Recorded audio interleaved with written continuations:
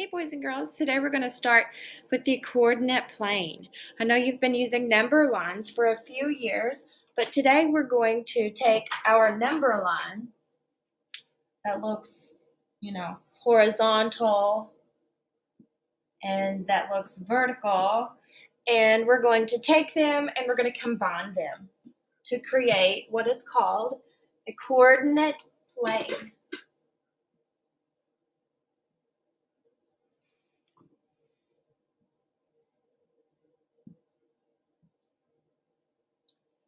So when you take a vertical and horizontal number lines, this is a coordinate plane. It has four what we call quadrants, and they go in the shape of a C.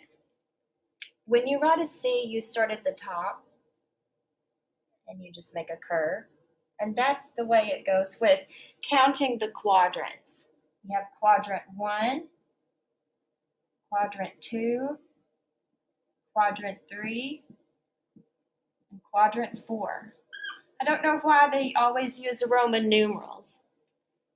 Four quadrants, you probably recognize that prefix quad meaning four. Four quadrants of a coordinate plane. They go in the shape of a C. If you were to draw a C, they would go in that shape. One, two, three, four. On our coordinate plane, we have these two number lines. We have the y-axis, and I like to draw my y with a straight up and down tail, so that kind of reminds me, oh, straight up and down. And we have an x-axis. When you, um, so the point where the two number lines join, where they intersect, that's point zero zero, and that's also called the origin. You know, we've been talking about the origin on our horizontal or vertical number lines. It's still called the origin when you have all four. When you plot a point on the coordinate plane, you will plot it as an ordered pair. Ordered pairs are in parentheses, and they will be in the form x comma y. This means our x coordinate is listed, comma, then our y coordinate is listed. So when you plot points, you need to always start at the origin. You need to look at the x coordinate, oh, two, oh, three, whatever it is, find it on the x axis. Look at the um, y axis, y coordinate, start from the origin and find it on the y axis. So let's try some of them. Here's a little worked example, and really what we're going to be doing, starting at the origin, I'm going to go left or right, however many spaces, and then I'm going to do up or down, however many spaces.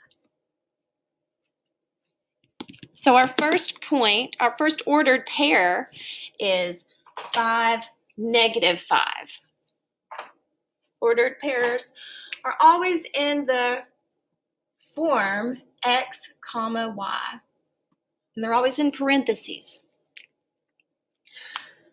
So my first ordered pair is 5, negative 5. So I start at the origin. My x coordinate is positive, and I know positive numbers go to the right of 0 my y coordinate is negative 5, and I know that negative numbers go down. So I'm going to go start at the origin, right 5 because it's positive, left 5 because it's negative. And I'm going to plot it negative 5, negative 5.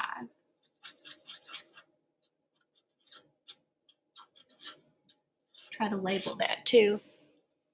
Our next coordinate, 3, 7, both positive numbers. Start, start at the origin, that's positive to the right 3. Y coordinate is positive, so I'm going to go up 7. 3 comma 7 is that ordered pair. My next ordered pair is negative 6. Start at the origin. Because the x coordinate is negative, it's going to go to the left. My y coordinate is negative, so it's going to go down. negative 2, negative 6.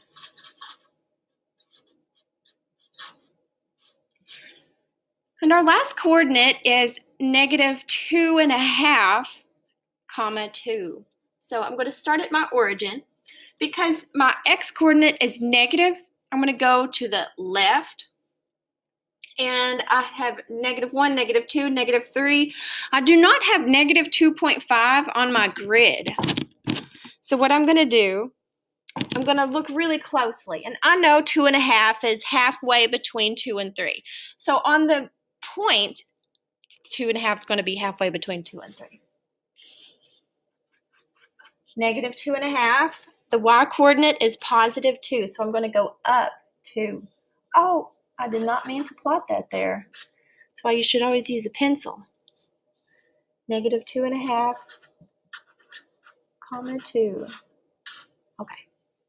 You have um, two assignments on Khan Academy. Plotting points on a coordinate plane, um, the quadrants on a coordinate plane, and then you have one study island assignment called coordinate plane.